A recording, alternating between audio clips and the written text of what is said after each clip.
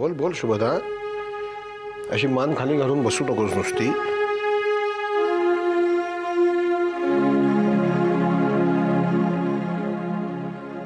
बोल ना तुझ्या मनामध्ये जे काही आहे ते स्वच्छ झडझडून बोल बघू.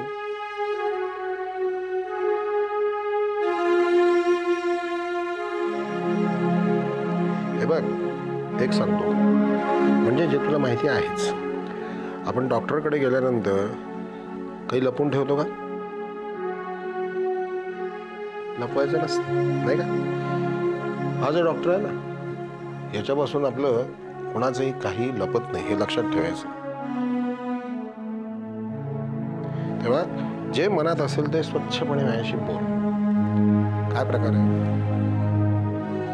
दादा मला भीती वाटते. कसली? आकाशशी लग्न केल्यानंतर माझं भवितव्य काय? म्हणजे? अशी भीती वाटण्यापाठीमागे काय कारण काय आहे? मी त्या मुलाला आकाशला अगदी जवळून ओळखतो. बऱ्याच वर्षापासून ओळखतो. तो चुकीचा आहे असं मला नाही वाटत. काय नेमकं चाललेलं आहे? हो दादा पण तो गोंधळलेला नक्कीच आहे. म्हणजे? दादा आमचं लग्न ठरलंय. पण तरी आकाश हे लग्न त्याच्या मनाविरुद्ध ठरल्यासारखं वागतोय. खरं तर इतक्या लवकर लग्न करायचं माझ्याही मनात नव्हतं. तरी तू एवढी सगळी तयारी केलीस लग्नाची? हो म्हणजे दादा मला असं वाटलं की आज ना उद्या आकाश या सगळ्या गोष्टींशी कम्फर्टेबल होईल. पण दादा माझा त्याच्यावरती राग नाहीये. मला फक्त माझ्या भवितव्याची चिंता आहे. तशी ती काळजी असलीच पाहिजे. परंतु प्रश्न फक्त तुझ्या एकटीच्या भवितव्याचा नाहीये. हे तुझ्या लक्षात येते का? प्रश्न हा दोघांच्याही भवितव्याचा आहे. खरं की नाही? म्हणजे संसारामध्ये तडजोड ही अपरिहार्य असते. पण ती तडजोड ही दोन्ही बाजूनी व्हायला पाहिजे असते. आकाश जे काही वागतो आहे त्या पाठीमागे त्याची स्वतःची काही एक भूमिका असू शकते. का नाही? ती भूमिका आपण समजावून घ्यायला पाहिजे हो की नाही? दादा पण आपल्याकडे आता वेळ नाहीये. तू एक काम करशील का? तू त्याला फोन कर. मी त्याला इकडे बोलावून घे आपण तिघं बसून बोलूया ना? बोलण्यामुळे अनेक प्रश्नांची उत्तरं आपोआप मिळतील. येईल तो? नक्की येईल.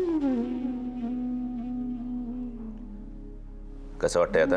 ठीक आहे. औषधं घेता सगळी वेळेवर? हाँ डॉक्टर साहब.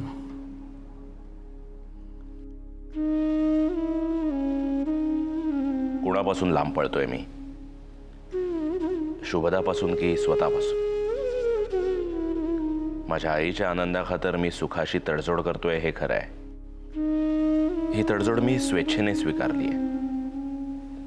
पण हीच तडजोड शुभदावर लादण्याचा अधिकार मला कोणी दिला? मी आयुष्यात कधीही तिच्यावर मनापासून प्रेम करू शकणार नाही. असा नवरा तिच्या वाट्याला यावा हा तिच्यावर अन्याय आहे. हे मला कळत असूनही दिसत असूनही मी गप्प आहे. This is wrong this is ethically wrong doctor Saheb doctor साहब क्या हुआ?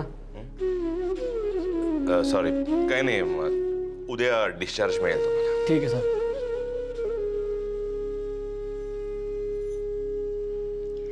इतका वेळ काय करते शुभदा आतमध्ये?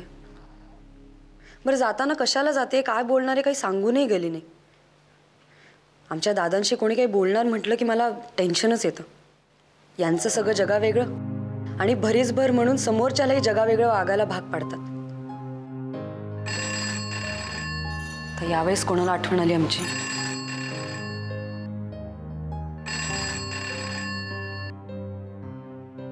हॅलो? विठ्ठल विठ्ठल. नरहरी बोला. आता काय बोलायचं? माऊलीचीच कृपा आहे म्हणायची? तीच वादळं आणते आणि तीच आपली नौका वादळामधून पार करते. कसं? नरहरी मला तुमची आध्यात्मिक बडबड ऐकण्यात काही इंटरेस्ट नाही जे काय बोलायचं ना ते स्पष्ट बोला. आणि तुमची भाषा ना मला अजिबात कळत नाही. कळत नाही म्हणजे आपल्या फायद्याची कुठली पण भाषा असली ना तरी माणसाला ती कळायलाच हवी. बर बर. आता तुम्हाला कळल अशा भाषेत सांगतो कळल. हे बघा तुमचं काम झालेलं आहे. काकांनी माझ्याकडे तुम्हाला देण्यासाठी पैसे दिलेले आहेत. ते घेऊन मी तुम्हाला द्यायला येतोय आणि तुमच्या घराच्या समोरच्या चौकात मी उभा आहे. होय ना तुमच्या घरामध्ये माणसं असतील ना उगाच संशय घेतील म्हणून बाहेरून फोन केला कळलं का? हा तेव्हा तुम्ही या आणि तुमचे पैसे काय ते ताब्यात घ्या. हो मी आलेच.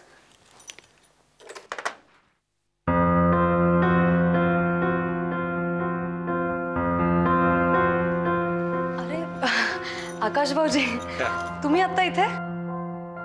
अच्छा बायकोशिवाय करमत नाही वाटतं. अहो पण इतकं बायको बायको करू नका. जरा लग्नापर्यंत धीर ठेवा.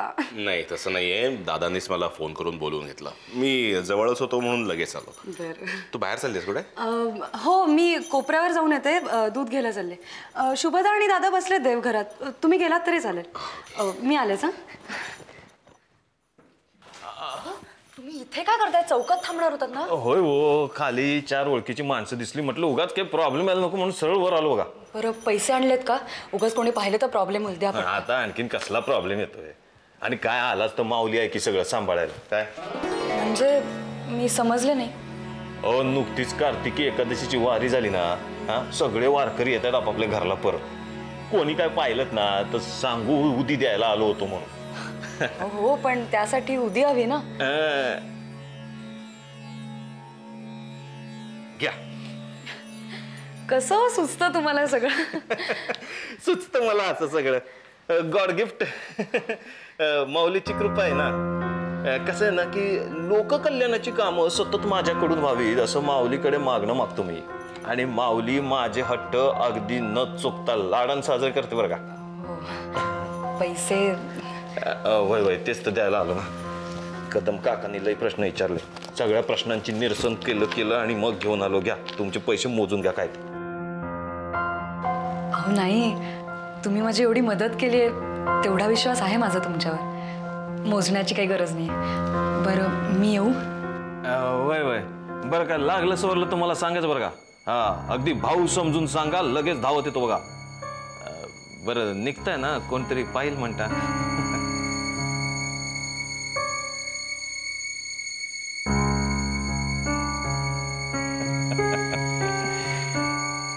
माऊली जगात अशीच मूर्ख माणसं जन्माला घालत राहा. जर ती जन्माला आली नाही तर आमच्यासारख्या शहाण्यांचं पोट कसं भरणार?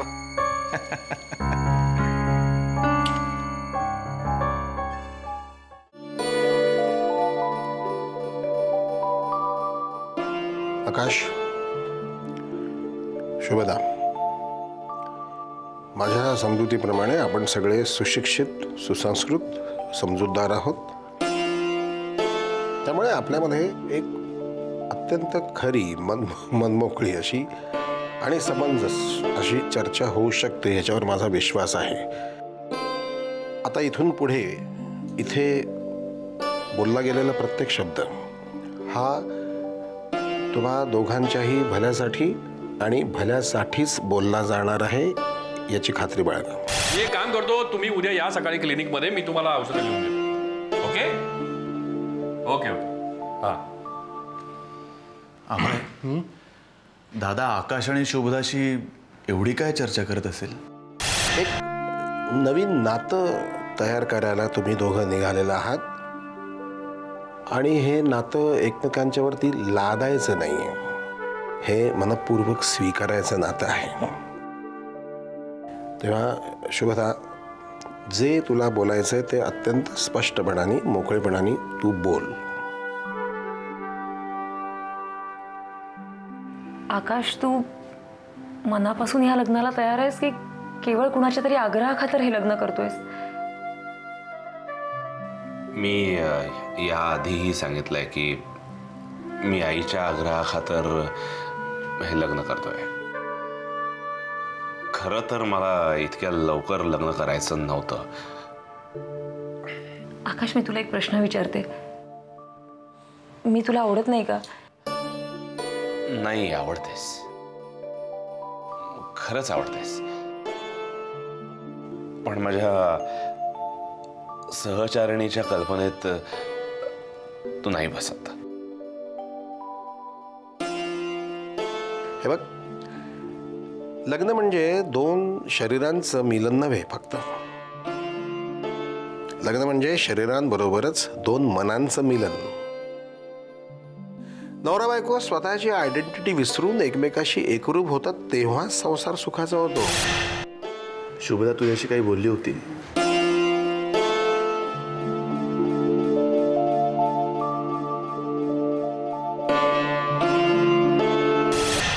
आकाश अरे मी तुझ्या अपेक्षांना पुरेपूर उतरण्याचा प्रयत्न करेन.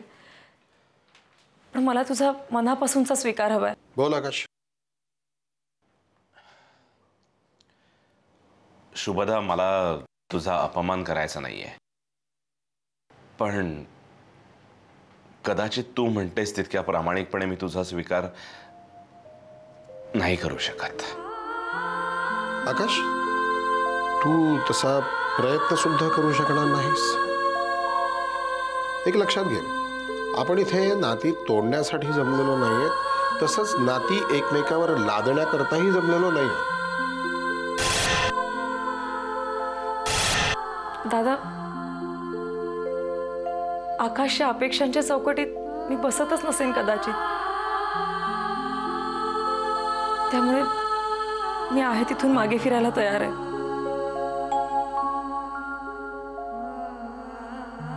शुभदा मी खूप चुकीचा वागतोय ना तुझ्याशी.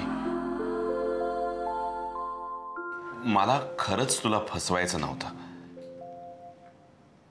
तुझ्या हेतूविषयी माझ्या मनात कधीही शंका नव्हती आणि नाही. अरे तसं असतं तर इतक्या शांतपणे हा निर्णय घेऊच शकले नसते मी. आकाश नाव the ball is in your court काय बोलणार दादा? आज खूप मोठ्या धर्मसंकटातून वाचवलं हिने मला. अगं तू हातपाय जाऊन पड ना गं ना तू का उभी आहेस इथे? नाही थांबते मी पण. आता मनामध्ये काही किंतु परंतु आहे?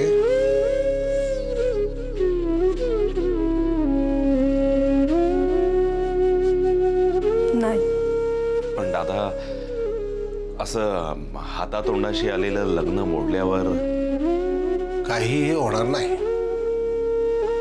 लग्न करून मोडण्यापेक्षा ते करण्याआधीच मोडलेलं बरं. चला चला तुम्ही आता बाहेर चला. मी येतोच आहे. बाहेर सगळे आपल्या निर्णयाची वाट बघत असतील काय चर्चा चालली आहे वगैरे. चला मी आलो.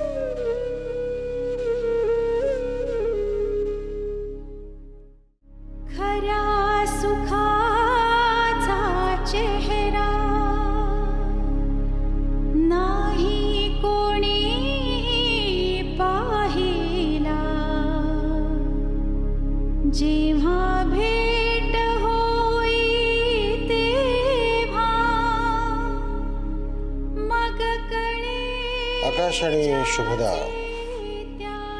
या दोघांची माझ्याबरोबर भरपूर चर्चा झाली.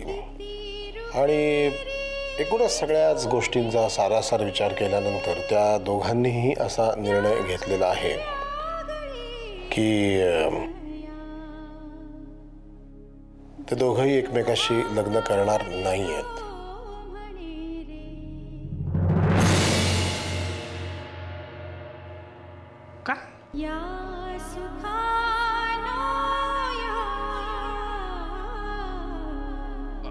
पण असं एकदम तडकाफडकी काय झालं? त्या दोघांनी एकमेकाशी लग्न न करण्याची त्यांची कारणं ही वैयक्तिक आहेत. आणि त्या कारणांची अशी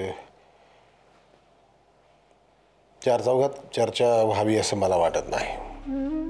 अहो पण ती कारणं तुम्हाला माहितीच आहेत ना? मी ही कारणं त्यांना विचारायला गेलो नव्हतो. त्यांनी स्वेच्छेने मला ही कारणं सांगितली. आपापली मतं आपापल्या अडचणी माझ्यासमोर मांडल्या. एकमेकांशी चर्चा केली आणि अत्यंत रॅशनली सर्व गोष्टींचा विचार करून त्या दोघांनी हा निर्णय घेतलेला आहे. पण आकाश अरे काहीतरी सांग ना आम्हाला. हे सगळं असं ठरलेलं असताना? मयुरेश प्रत्येक गोष्ट ही आपल्या भल्यासाठीच असते असं काही नियम नाही. आपण चुकीची पावलं उचलतो आहोत याची उपरती जेव्हा माणसाला होते त्यावेळेला त्यांनी वेळीच थांबावं यातच शहाणपण असतं. आकाश त्याच्या आईच्या आग्रहाला बळी पडून असाच वेगळीच पावलं टाकत होता वेळीच सावरला तो. पण त्यांच्या चुकींची शिक्षा शुभदानी का मोजायची? ती किंमत तिला मोजावी लागू नये पुढे म्हणूनच हा निर्णय घेतलेला अहो पण लग्न मोडणं हा कुठल्याही गोष्टीवर पर्याय असू शकत नाही. कस्तुरी जो निर्णय ज्यांनी घ्यायचा आहे तो निर्णय त्यांनी घेतलेला आहे. हा त्यांच्या आयुष्याचा प्रश्न आहे. आणि तो त्यांचा त्यांनी सोडवलेला आहे. मनाविरुद्ध लग्न करून जन्मभर एकमेकाच्या डोक्याशी डोकं घासण्यापेक्षा वेळी सावध होऊन वागलेलं बरं. या सगळ्या प्रकरणाचा इथे समारोप झालेला आहे. त्यामुळे मला आता याच्यावरती मला तरी चर्चा करायची नाही.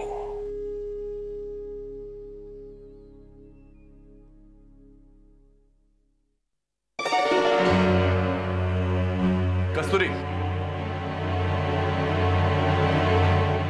दादा मला वाद घालायचा नाहीये. अरे पण या दोघांमध्ये समेट घडवून आणलं तुलाही जमलं नाही? जमलं असतं कदाचित. पण मीच तसा प्रयत्न मुद्दाम नाही केला. त्याचं कारण असं की तो कदाचित जुलमाचा रामराम ठरला असतो. मी त्यांना फक्त योग्य निर्णय घेण्यासाठी मदत केली. आता दोघांनाही आपापले रस्ते मोकळे आहेत. अभय नवरा बायकोनी एकमेकाच्या हातात हात घालून चालणं म्हणजे सुखी संसार. फार थोड्या लोकांना हे जमतं. पण बहुतेक वेळेला आपल्याकडे तर नवरा बायको कायम समांतर चालत राहतात किंवा एकमेकाच्या पायात पाय घालून एकमेकांना पाडत राहतात. या दोघांच्या बाबतीत मला त्या दोन्ही शक्यता ठेवायच्या नव्हत्या म्हणून त्यांना मी ही मदत केली. त्यांच्याशी चर्चा केली. त्यांनी त्यांचा निर्णय घेत केलेला आहे. विषय संपलेला आहे. दोघांनाही आपले मार्ग मोकळे आहेत. उद्यापासून सुट्टीवर जाणार आहेस ना? मग काय करणार? बघू अजून ठरवलं नाही. Hi ma'am hi ma'am hi excuse me excuse Deepika? तू इथे? हो. एवढं आश्चर्य वाटण्यासारखं काय आहे? अगं असं नाही. तुला सस्पेंड केलंय ना ऑफिसमधनं आणि तरी सुद्धा तू इथे आलीस म्हणून आश्चर्य वाटलं. मॅनेजमेंटने ठीक मला सस्पेंड करू दे. पण ते सस्पेन्शन मी स्वीकारायला हवं ना. म्हणजे? म्हणजे हायर मॅनेजमेंटकडे मी आपल्या बॉस विरुद्ध तक्रार करणार. आहे त्याच्या विकृत चाळ्यांमुळे मला त्याच्यावर हात उगारायला भाग पाडलं हे मी सिद्ध करणार. आहे आणि त्याच्याकरता मी इथे आज आले. तक्रार आहे माझ्याकडे त्याच्याबद्दल. You know one thing Deepika ह्या असल्या कागदांना आपल्याकडे केराची टोपली दाखवली जाते. मग मॅनेजमेंटमधल्या माणसांना सुद्धा त्यांची जागा दाखवायला मी कमी करणार नाही. अगं कशाला वाढवतीयस उगाच? हा विषय वाढवण्याचा अट्टहास का? हे बघ जे झालं गेलं ते विसरून जा. आणि दुसरी एखादी नोकरी बघ. आणि दुसरीकडेही असंच कोणीतरी मला भेटलं तर? तिसरी नोकरी बघ. दीपिका तू आपल्या बॉसला अजून ओळखत नाहीस. अगं खूप वरपर्यंत पोहोच त्याची. अगदी अंडरवर्ल्डपासून पॉलिटिशियन्सपर्यंत हे सगळे त्याचे क्वालिफिकेशन्स आहेत असं म्हणायचंय तुला? तसं नाही आहे ग दीपिका. मी तुला फक्त सावध करते आधीच तू भर ऑफिसमध्ये त्याचा अपमान केल्यामुळे तो चौताळलाय. आणि आता ही कंप्लेंट केलीस ना तर तो काहीही करू शकतो ग दीपिका. गुन्हा करण्याकरता त्याच्याकडे कोणते ॲसेट्स आहेत हे तू मला सांगितलंस. पण आता त्याच्या विरुद्ध प्रतिकार करण्यासाठी माझ्याकडे कोणता ॲसेट आहे हे मी तुला सांगते. एक देव आणि माझा दादा. यांच्या व्यतिरिक्त मला कोणाचीही भीती वाटत नाही. त्याच्या विरुद्ध मी ठामपणे उभी राहणार तो विश्मीला. All the best Deepika